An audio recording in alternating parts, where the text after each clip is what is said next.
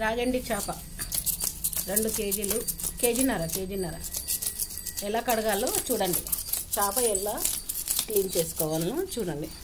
మా అమ్మ చేస్తుంది. హాయ్ ఫ్రెండ్స్ నమస్తే. ముందే ఇవ్వడం మర్చిపోయా. నేను మీ భాగ్యలక్ష్మిని. చేప ఎలా శుభ్రం చేసుకోవాలో చూడండి ఒకసారి. రాగండి ఇది కేజీన్నర చేప మన పైన మొత్తం పొచ్చు అదే అవి తీసేస్తుంది పొచ్చులు పొచ్చేనా పొట్ట? పొట్టు. మా అమ్మ తీస్తుంది. ఎలా శుభ్రం చేయాలి ఎలా కడుక్కోవాలి ఎలా కోసుకోవాలి ఫ్రైకి అయితే ఎంత ముక్కలు పులుసుకి అయితే ఎంత ముక్కలు అనేది చెప్తాను చూడండి.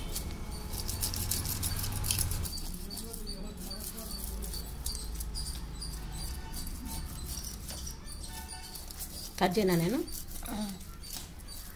ఇంకా మళ్ళీ నీవెందుకు చేయాలి? ఇవి తోకలు అవి. ఈ తోకలు అవి ఉన్నాయి కదా కత్తెరతో కట్ చేసుకుంటుంది.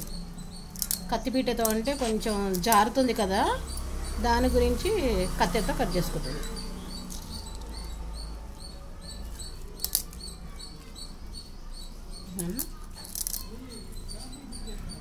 అయిపోయింది నేను చెప్పలేను నా పని.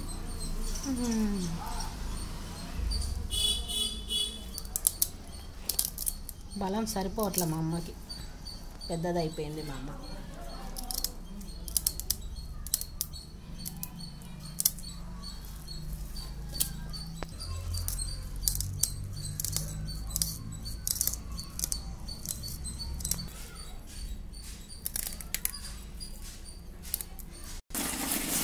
రుద్దుతుంటే వస్తుంది మళ్ళీ పొచ్చు అక్కడోటి అక్కడోటి ఉంటుంది అనుకుంటా కదా? చూడండి అలా రుద్దుకోవాలి.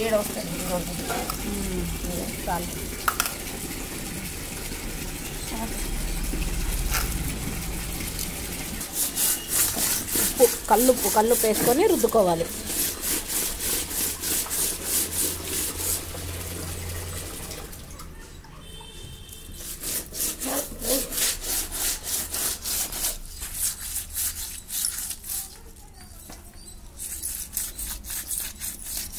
గాజు చూసిండు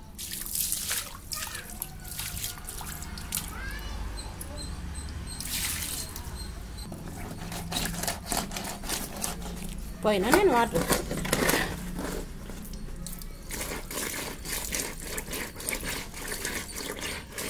ఉమ్.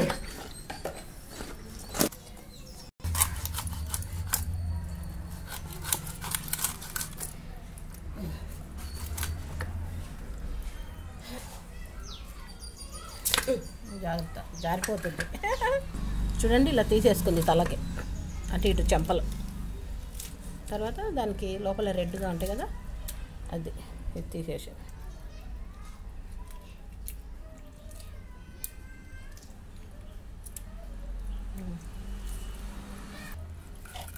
తెగుతుంది మీకు ఇక్కడ తెగుతుంది?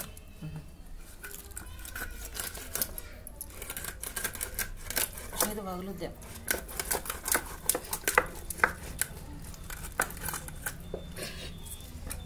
ఖర్చుపెట్ట మంచిగా చేపించిన.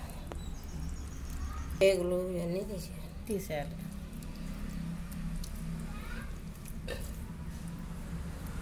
చేదు ఉంటుంది చాలా శుభ్రంగా చేసుకోవాలి. చేదు అనేది ఇదిగోండి చేదు అది ఉంటుంది. అది పగిలిపోయింది అనుకోండి మనకు చేప అనేది మొత్తం చేదు వస్తు వచ్చేస్తుంది.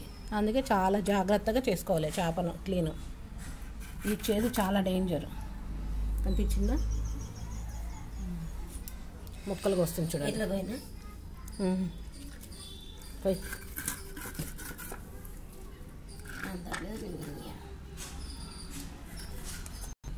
పెద్ద చేప అయితే ఇలా మధ్యలో కోసుకోవాలి. అవి చిన్న చిన్న చేపలు అయితే అవసరం లేదు. అవి ఇలా రౌండ్గా కోసేసుకుంటే అయిపోతుంది ముక్కలు ముక్కలు.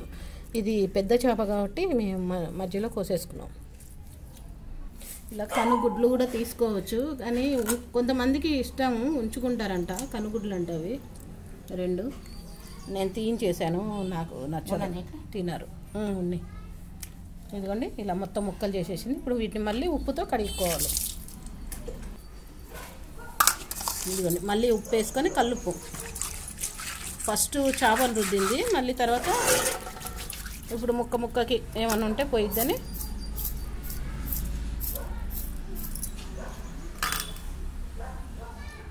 ఇలా కడుక్కోవాలి. ఇందులో కూడా ఇదిగోండి ఇలా తీసేసుకోవాలి బ్లాక్ది. నరం గట్టిగా ఉంది. ఇలా. చూడండి తెల్లగా అయిపోయింది. ఇలా బ్లాక్ అనేది అంతా తీసేసుకోవాలి శుభ్రంగా.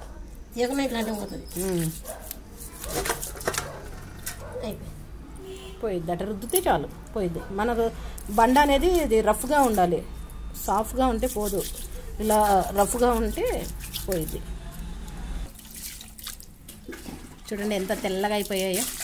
మా అమ్మ కాళ్ళ నొప్పులు ఉన్నా కూడా కష్టపడుతుంది మా కోసం. నేను తిన్నాను? మీరు ఒక్కరే తింటుంటారా మా అమ్మకు కూడా పని చెప్తున్నాం. నాకు చేయడం రాదండి అందుకని లేకుంటే ఏం లేదు. చూడండి తెల్లగా అయిపోయాయి చక్కగా శుభ్రంగా అయిపోయాయి. తల తలకాయ